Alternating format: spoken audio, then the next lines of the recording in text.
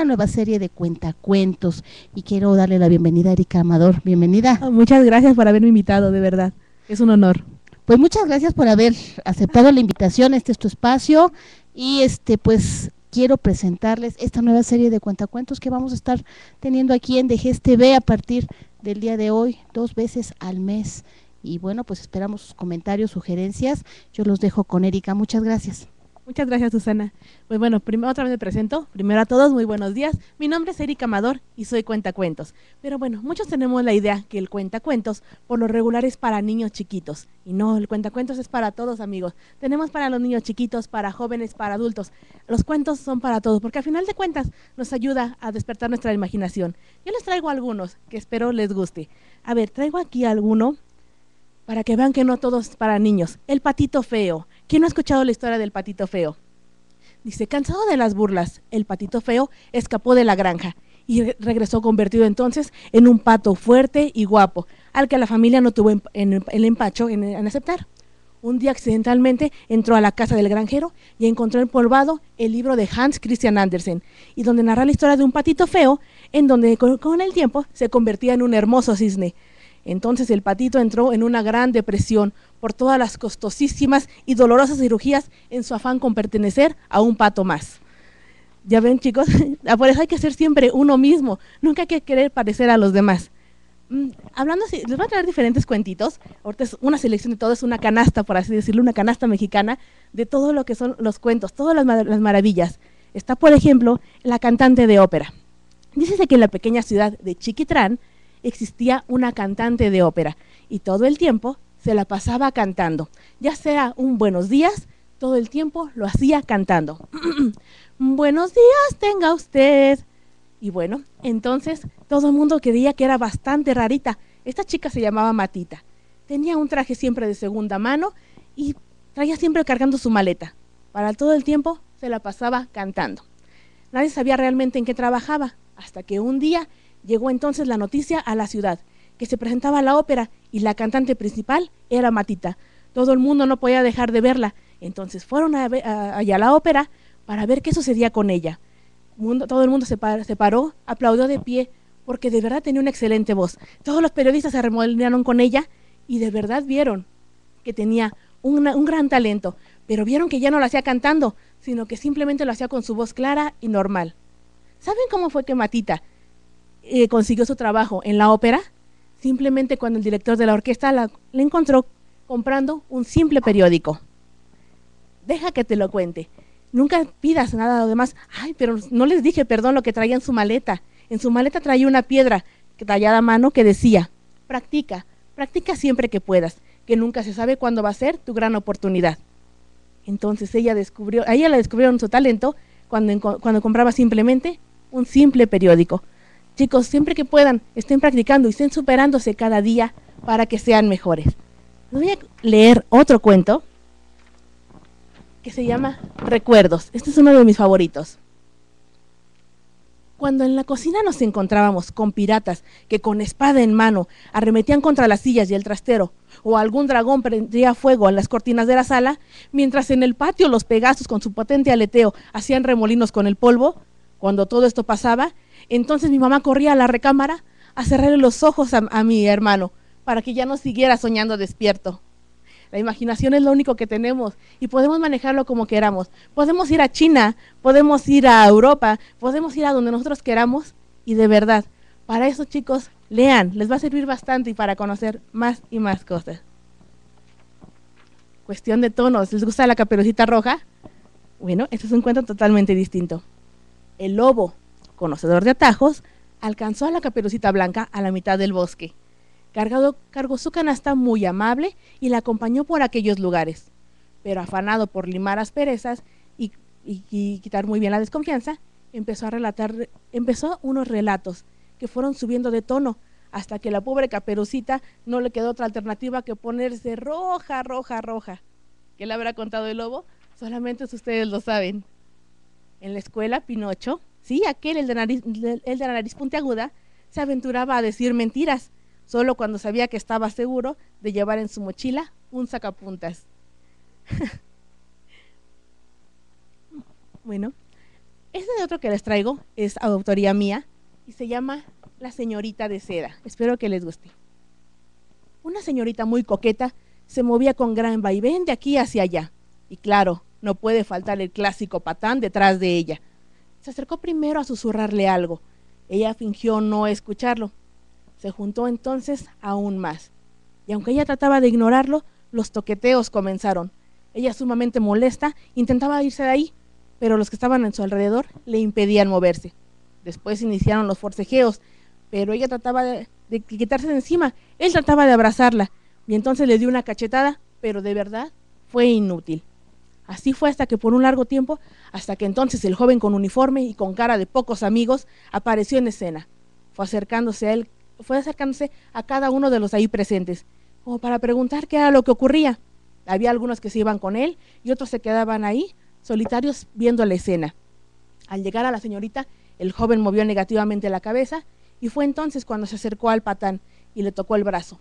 El patán volvió para reclamarle y le dio un tremendo golpe, pero falló. Dio golpes a diestra y siniestra hasta que el joven encantado simplemente se lo llevó junto con los demás testigos. No me lo crean de cierto, eso fue lo que yo vi en la azotea de mi casa, cuando el pequeño joven de secundaria subió a recoger la ropa que había en los tendederos.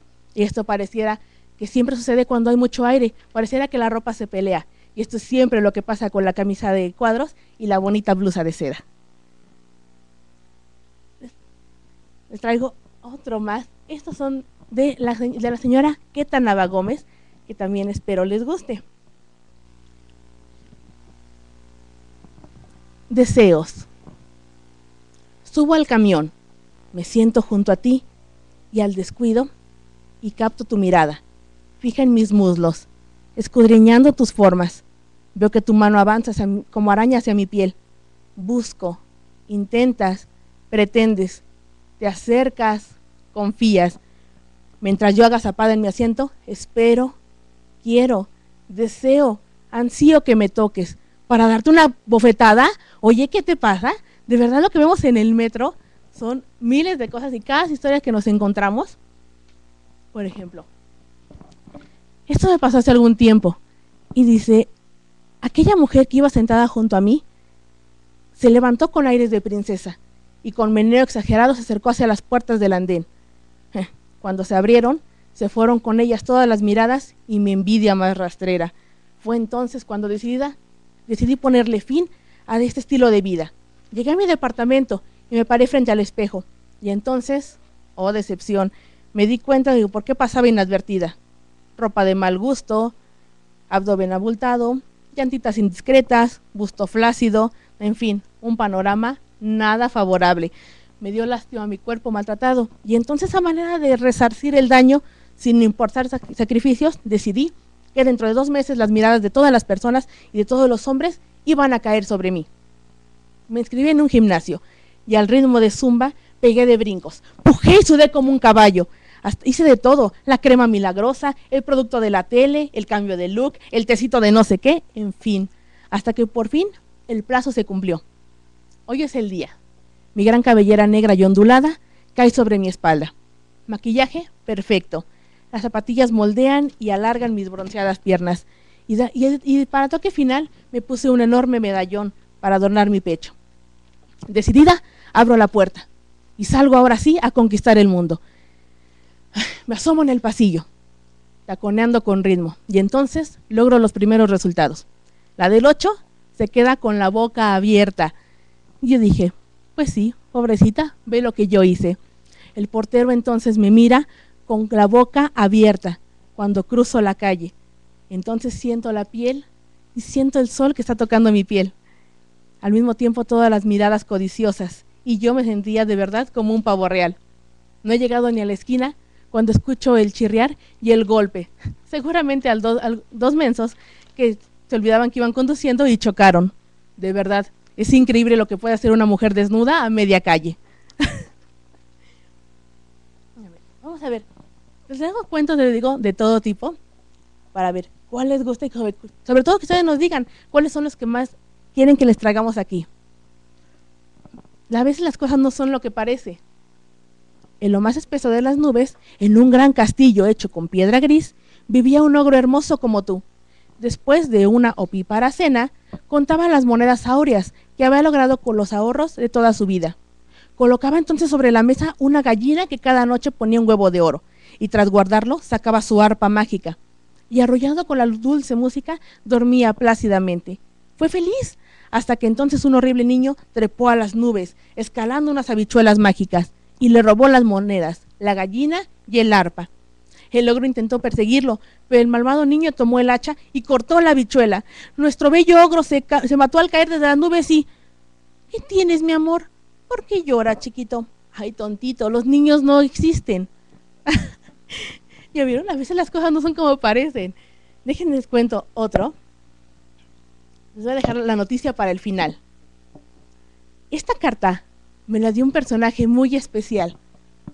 Espero les guste. Solo con encontrarla, un gozo verde le llena los ojos.